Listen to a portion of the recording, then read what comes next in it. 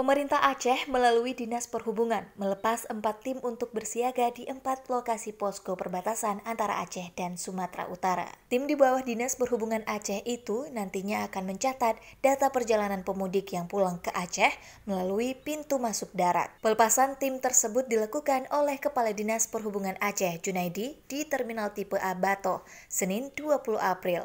Adapun empat lokasi perbatasan tersebut yaitu Aceh Tamiang, Aceh Tenggara, Subulus Salam, dan Aceh Singkil. Kepala Dinas Perhubungan Aceh Junaidi mengatakan pihaknya mengirim empat tim yang terdiri dari 28 orang untuk ditugaskan di posko perbatasan antara Aceh dan Sumatera Utara. Dinas Perhubungan Aceh saat ini menyiapkan sesuai dengan perintah Pak Gubernur menyiapkan satu aplikasi untuk memantau jadi aplikasi ini diharapkan dapat menjadi database untuk mengambil kebijakan-kebijakan terhadap eh,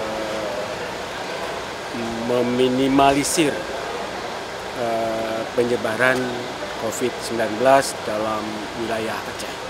Junaidi mengatakan Tim tersebut nantinya akan mensosialisasikan dan memandu para pemudik untuk melaporkan riwayat perjalanan dan tujuan kepulangannya di aplikasi sapamudik.id. Aplikasi itu dibuat melalui kerjasama pemerintah Aceh dengan Universitas Kuala di Depo Transkutaraja Komplek Terminal Batoh. Sementara itu, Ketua DPD Organda Aceh Haji Ramli mendukung operasional aplikasi Sapa Mudik dan menghimbau kepada pengusaha angkutan untuk mengarahkan penumpang melakukan pengisian data di aplikasi itu.